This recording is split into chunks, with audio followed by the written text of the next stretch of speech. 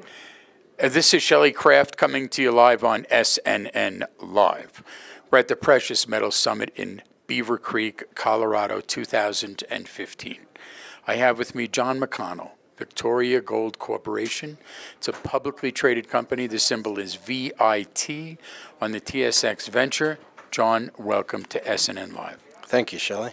It's good to have you. Great. Let's get into it. An overview of the company, if you would.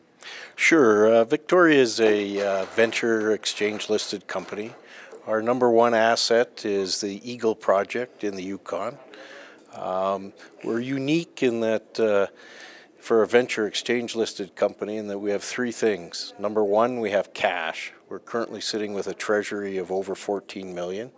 Number two, we have a fully permitted asset that in production will produce over 200,000 ounces of gold per year. And number three, we have exceptional blue sky exploration potential. What's your resource? Resource is 6.3 million ounces. Who are some of the companies that outlie your district? Yeah, there's quite a few good companies in the Yukon uh, Kaminak, ATAC, um, Western Copper and Gold, uh, Wellgreen Platinum, so lots of good neighbors. So you're in development. You're getting ready probably soon to go into production. Explain. Yeah, uh, you know, our biggest thing now is financing, and that's no small task. We're, uh, you know, a company with a $40 million market cap. We need to raise 400 million. Um, we have a plan for that, and uh, you know, but as soon as we get that financing plan in place, we start construction. 24 months later, we're in production. What's your background? I'm a mining engineer, graduate of the Colorado School of uh, Mines. I spent my whole career in Canada's North, Nunavut, NWT, and now in the Yukon. So, of all the projects you've stepped foot on, how does this one rank in your entire career?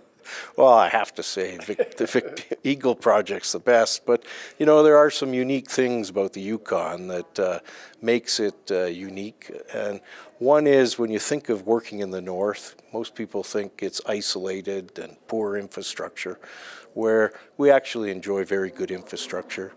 We have a paved highway within uh, 45 kilometers of our project site. We have a gravel road into the site, so we have year-round road access. That paved highway system is also parallels the power grid. So we're 45 uh, kilometers from uh, power. Um, community of Mayo is about 50 kilometers away. It's a small community, but it has a full service airport.